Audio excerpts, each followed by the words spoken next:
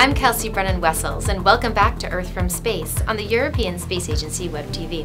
The Copernicus Sentinel-1B satellite takes us over one of the most active volcanoes in the world, Mount Mayon, on the island of Luzon in the Philippines.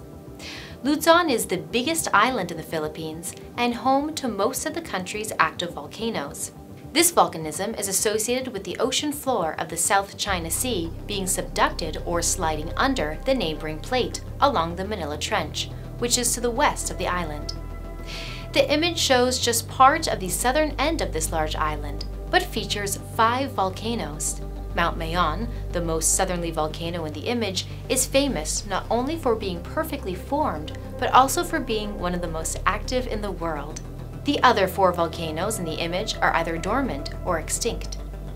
Dubbed a perfect volcano because of its symmetry, Mount Mayon has a classical conical shape, built up by many layers of hardened lava.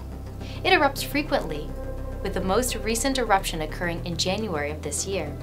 This image was captured on January 16th, and while satellite radar isn't typically used to detect hot lava flows, the way it has been processed reveals a pink line running down the southeast flank of the volcano that matches the flow of lava in optical images from satellites such as Sentinel-2. The predominant bright green in the image corresponds to vegetation, the lighter green and pink to towns, and the blue to cultivated fields. While the Sentinel-1 radar mission is used for a myriad of everyday applications, it is also used to detect ground movement, which is essential for monitoring shifts from earthquakes and volcanic uplift.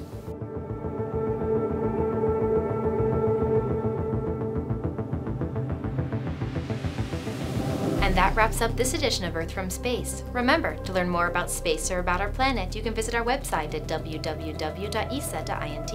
From the ESA Web TV studios, have a great day. If you like the video and you want to see more about space or about our planet, subscribe to our channel.